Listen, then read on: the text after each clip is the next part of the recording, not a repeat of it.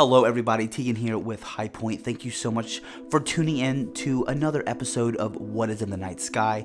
Tonight, I'm going to be taking you through a beautiful tour of the night sky in the month of November.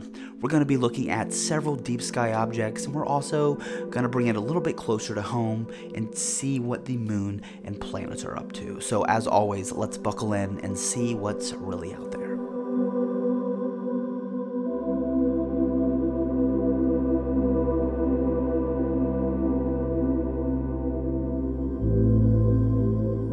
Starting out tonight's tour in the month of November. We're going to keep it within our solar system and see what the moon and the planets are up to this month. Mars is in conjunction with the sun on the 18th and will not be visible. Mercury can be seen in the evening sky during the second half of the month. A day old moon hangs very low over the southwestern horizon 15 minutes after sunset on the 14th, with Mercury just 5 degrees to its right. Saturn remains visible in the evening sky and will be high over the southern horizon by nightfall, with a quarter moon to the left of the planet on the 20th. Neptune is also visible. It is moving in a retrograde motion through Pisces and crosses into Aquarius on the 29th.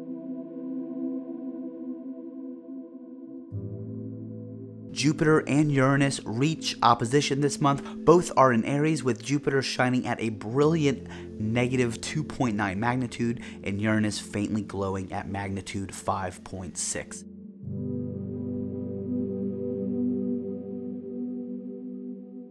The moon itself turns new on the 13th and then full on the 27th.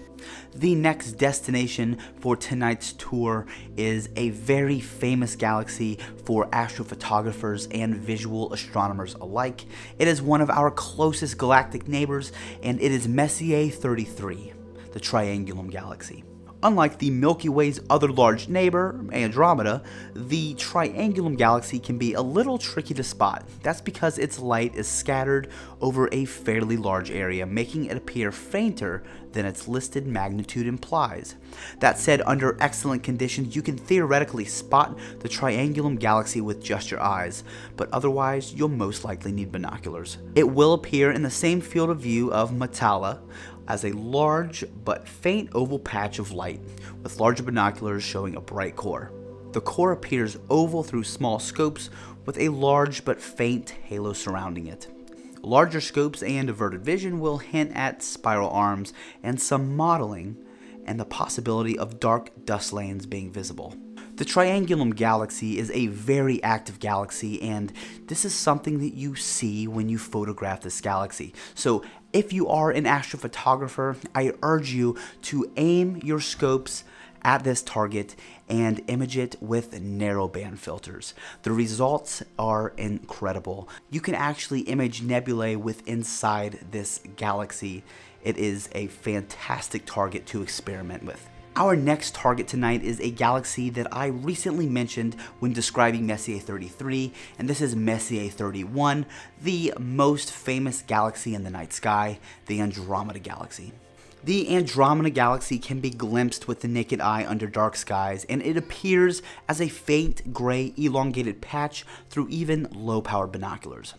Small scopes will show a little more detail, including two small satellite galaxies M32 and M110, while averted vision can show the dark dust lane that's so readily apparent in photographs.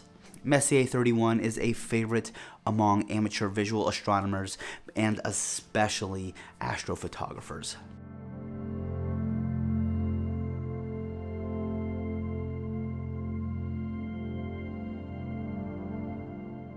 From Andromeda, we bring it back into our own galaxy to view a star cluster that is simply astounding to view through a telescope. Faintly visible to the naked eye under dark skies, the double cluster is an easy target for binoculars. Telescopically, both clusters fit nicely into the same low magnification field of view, with NGC 869 appearing smaller and denser. NGC 884 appears about twice as large as its neighbor, with sparsely scattered blue white stars of uniform brightness. Another incredible open cluster known as the Owl Cluster is our fourth target on tonight's tour and is equally as stunning as the double cluster. The Owl Cluster or the ET Cluster can be detected with binoculars, but it is best seen with a telescope. A low magnification of around 30 times will show Phi Cassiopeia, the double star that makes the owl's eyes.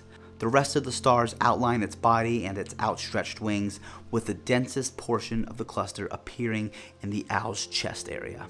If you've enjoyed either of these open clusters and you prefer looking at stars and double stars through your telescope, then you will enjoy this last target tonight. It is a double star known as Mesarthim. This is a relatively easy double star for almost any telescope. It's a clean split around 50 times magnification with two equally bright white components being seen through even the most modest telescopes.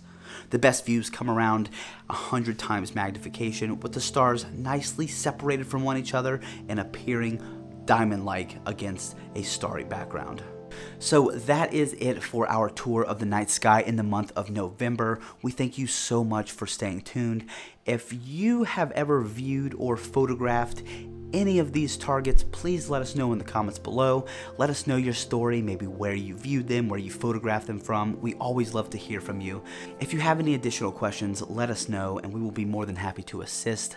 We thank you so much for coming out tonight. Clear skies.